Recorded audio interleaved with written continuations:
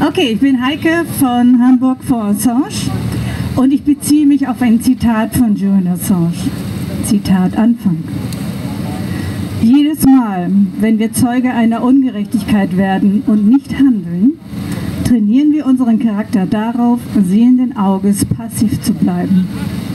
Dadurch verlieren wir möglicherweise jede Fähigkeit, uns selbst und die, die wir lieben, zu verteidigen. In einer modernen Wirtschaft ist es unmöglich, sich gegen Ungerechtigkeit abzuschotten.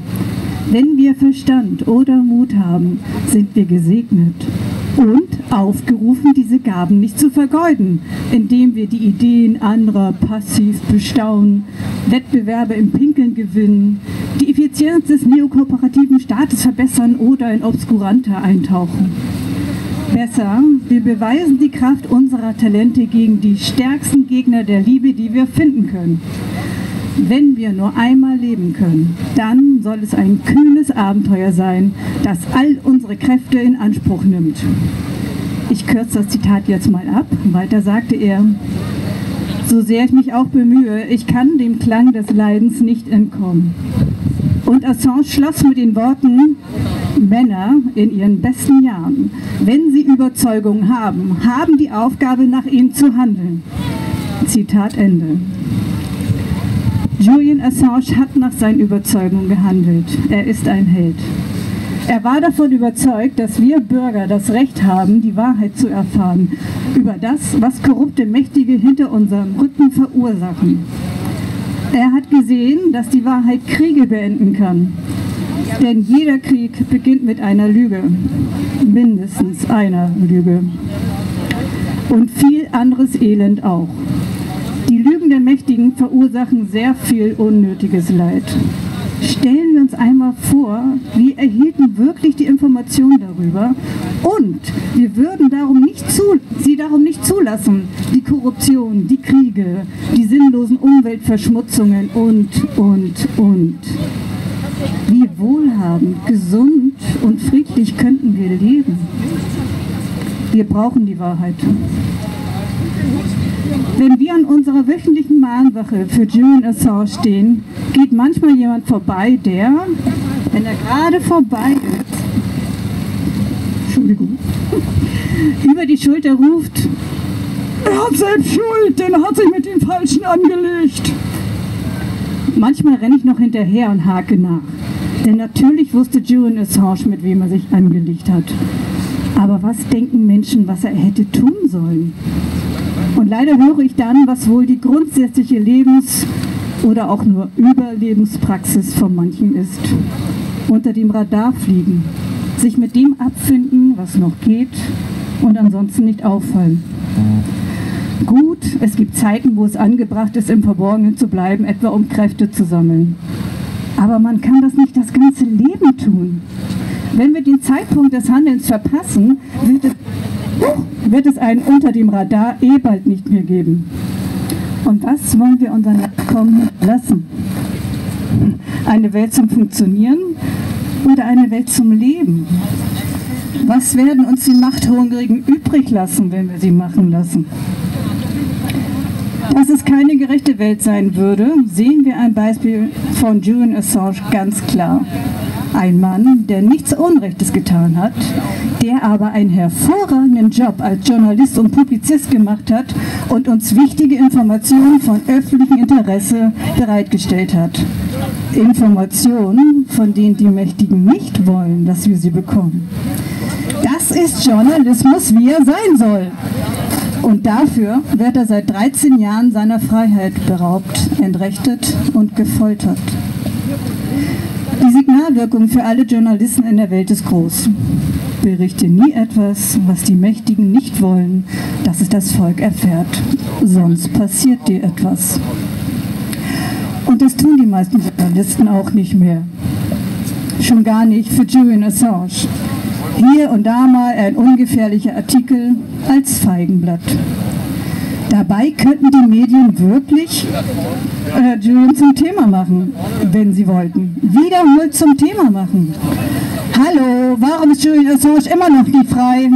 Das nennt ihr Wertewesten? Äh, Wertewesten? Äh, wir wollen endlich Rechtsstaatlichkeit und Wiedergutmachung sehen. Jede Woche solche Beiträge, das würde Assange sehr wahrscheinlich zur Freiheit verhelfen, weil das Volk verabscheut Ungerechtigkeiten, wenn die Menschen davon erfahren und auf dem Laufenden gehalten werden. Doch auch unsere Medien fliegen schon lange unter dem Radar.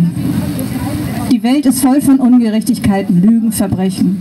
Gute Journalisten könnten maßgeblich daran mitarbeiten, dass die Welt wieder in Ordnung kommt. Sie hätten reichlich zu tun. Könnten sie. Stattdessen erzählen sie uns, was wir über wen zu denken haben. Oder setzen uns komplett unwichtigen Scheiß in den Kopf. Entschuldigt das böse Wort, war bewusst gewählt. Die Journalistenkollegen von Julian Assange in den vielen Redaktionen, die sich nicht für ihren Kollegen Julian Assange einsetzen, sind in Wirklichkeit keine Kollegen. Nun, Journalist ist keine geschützte Berufsbezeichnung. Jeder angepasste Schmierfink darf sich so nennen und das tun sie auch. Das Journalistikstudium trägt offenbar auch nicht zum unabhängigen Denken und Berichten bei investigativ recherchieren, aber nur in Richtung der erklärten Klassenfeinde. Wikileaks steht noch immer zur Verfügung, doch welche Redaktion bedient sich daraus? Die sogenannten Leitmedien oder Qualitätsmedien, wie sie sich selbst nennen, sind schon lange nicht mehr die vierte Gewalt.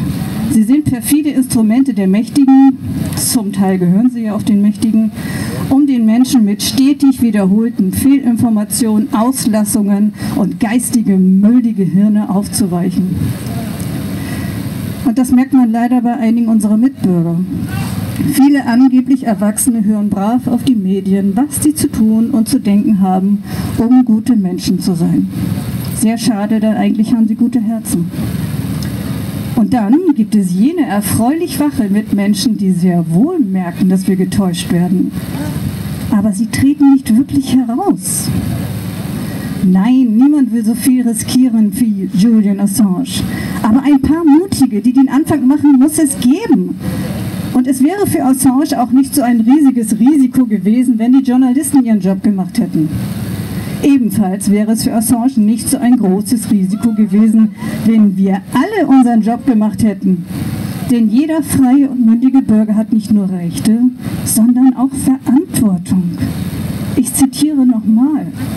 Jedes Mal, wenn wir Zeuge einer Ungerechtigkeit werden und nicht handeln, trainieren wir unseren Charakter darauf, Seelenauges passiv zu bleiben.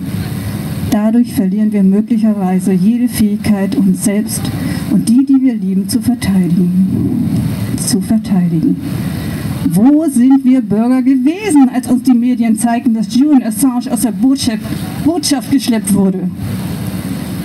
Wir haben uns einlullen lassen, vielleicht auch mit anderen Sorgen. Aber die Sorgen werden nicht besser, wenn wir uns nicht erheben. Und es gibt uns Kraft, wenn wir es dann doch tun. Julian Assange wurde im Gefängnis gefragt, ob er es bereue, was er getan hat. Und obwohl er schon seit Jahren dieses Martyrium durchmacht und es ihm wirklich schlecht geht, sagte er nicht, ja, du siehst ja, was mir passiert ist, sondern er sagte, es hat mir sogar Spaß gemacht.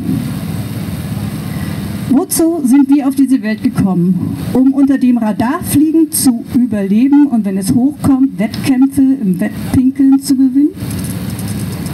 Manche sagen, bevor wir geboren wurden, haben sich unsere Seelen dazu entschieden, gerade in dieser Zeit auf diese Welt zu kommen, weil wir etwas zu lernen und etwas zu geben haben. Ich weiß nicht, ob das stimmt, aber sicherlich wird niemand einst auf dem Sterbebett denken, ach, hätte ich doch mehr Netflix geschaut. Aber jeder, der zum Aktivisten gegen das Unrecht wird, kann sich später sagen, es lief zwar nicht alles glatt und oft habe ich mir auf der Straße den Allerwertesten abgefroren, aber ich stand für meine Überzeugung ein und es hat Spaß gemacht. Ganz im Sinne von Julian Assange. Dieses gute Gefühl wünsche ich unserer ganzen Nation. Seid präsent, lasst das innere Licht leuchten. Tauscht die Angst gegen die Liebe ein. Das macht Spaß und das ist die gute Energie, die wir im Gegensatz zu den korrupten Mächtigen zur Verfügung haben. Die Macht der Masse mit der Kraft der Liebe. Danke, dass ihr da seid. Free Assange!